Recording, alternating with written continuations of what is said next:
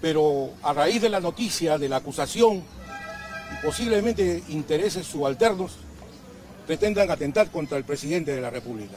Yo lo digo enfáticamente que es el presidente de la República. ¿A qué se refiere con que pretendieron atentar? ¿Quiere decir que alguien...? Eh, Por supuesto, porque tiene que tener mucho cuidado con el presidente. Mire, imagínese usted que el señor Vizcarra, siendo es presidente, tiene siete personas que lo custodian.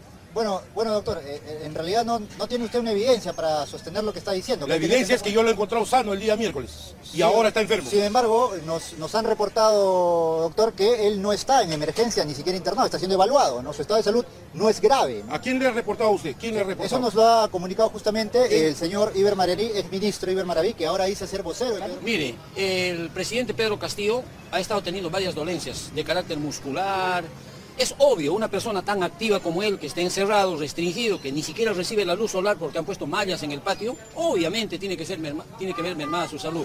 Peor cuando tenemos un ministerio público y tenemos un poder judicial que se ensaña en contra de las leyes y perjudicando al presidente Castillo. Merma, por supuesto, su...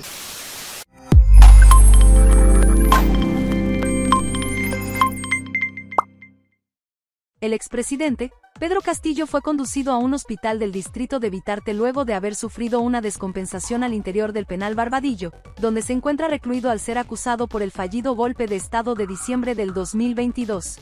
La información fue confirmada por el Instituto Nacional Penitenciario, INPE, que por medio de sus redes sociales, comunicó que el exmandatario tuvo que ser conducido al promediar las 9 de la mañana al Hospital 2 Vitarte de Salud de Emergencia tras haber sufrido una descompensación en su salud señalaron que el exmandatario se encuentra estable y que viene siendo atendido por personal médico del referido centro de salud, sin brindar mayor información de lo que habría ocurrido. Minutos más tarde, Salud emitió un comunicado respecto al estado del expresidente. El paciente en mención ingresa a las 10 y 17 de la mañana al servicio de emergencia, por dolor en el pecho. Al momento, se le viene realizando los exámenes y monitoreos respectivos, se encuentra estable con evolución favorable, permanece en observación, reza el comunicado.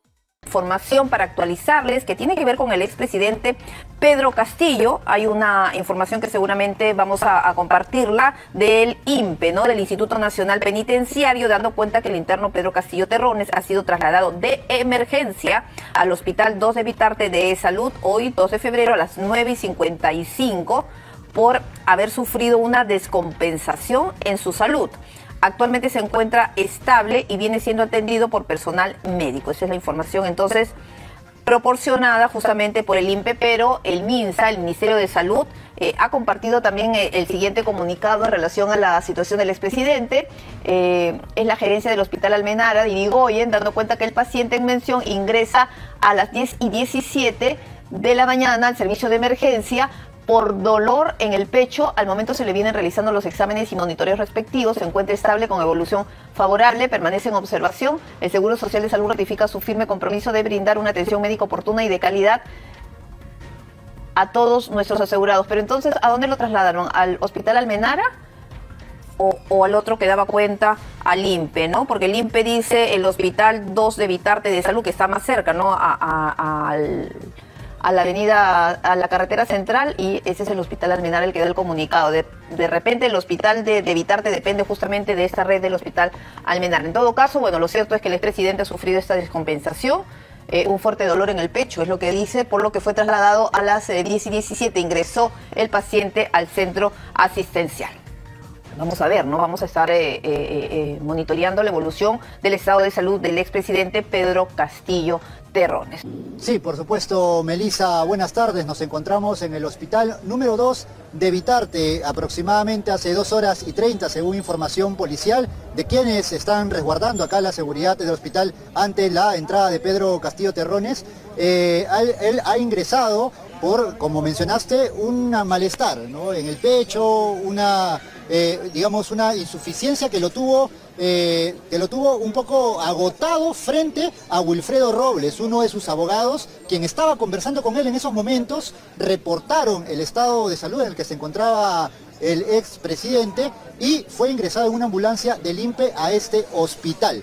En esos momentos, Melissa, hay algunos eh, simpatizantes de Pedro Castillo y también se encuentran su abogado, el doctor Walter Cifuentes, otro abogado de Pedro Castillo, quien eh, nos puede informar un poco sobre el estado de salud o el reporte que han recibido de los familiares o su hermana en concreto, quien es quien ha ingresado para conversar con el personal médico que lo está atendiendo. Doctor Cifuentes, bienvenido a la señal de Canal N. Coméntenos, por favor, eh, qué ha podido usted saber sobre el, el estado de salud de Pedro Castillo.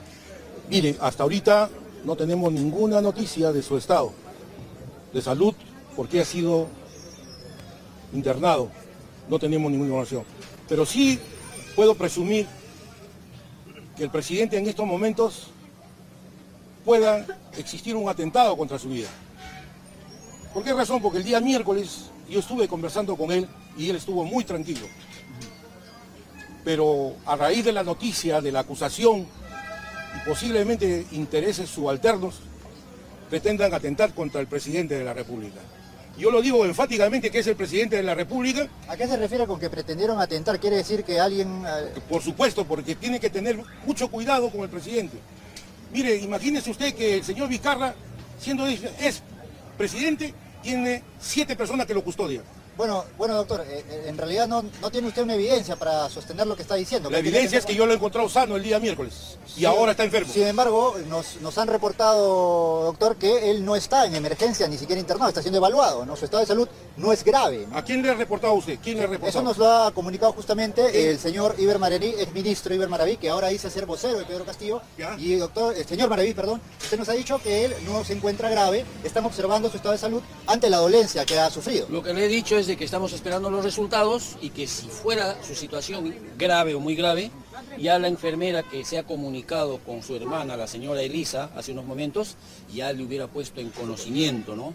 Entonces, estamos esperando los resultados, pero sí se encuentra mal, por algo es que lo traen con una ambulancia, por algo es que el médico dispone su traslado a este hospital.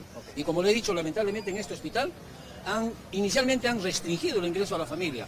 A mucha presión, una hermana ha ingresado. Señor Maraví, meses, eh, meses o semanas antes ustedes sabían de algún malestar que él tendría o habría avisado, confirmado a su círculo más cercano? Mire, el presidente Pedro Castillo ha estado teniendo varias dolencias de carácter muscular.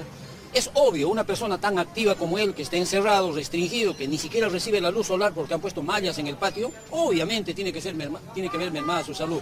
Peor cuando tenemos un ministerio público y tenemos un poder judicial que se ensaña en contra de las leyes y perjudicando al presidente Castillo. Merma, por supuesto, su salud, ¿no? Muchas gracias, señor Maraví. Ese es la, el punto de vista, la apreciación de las personas que han acudido ante este suceso Melisa. Nosotros vamos a mantenernos expectantes según eh, el resguardo que lo ha acompañado, al parecer sería solamente una atención ambulatoria, es decir, no se quedaría internado eh, Pedro Castillo, sino más bien luego de una evaluación y estabilizar esta descompensación que sufrió, sería pues trasladado de nuevo al penal de Barbadillo en la ambulancia del INPE que lo trajo, que está dentro del hospital y que aún no se ha retirado. Es la información que tenemos al momento, Melissa, sobre...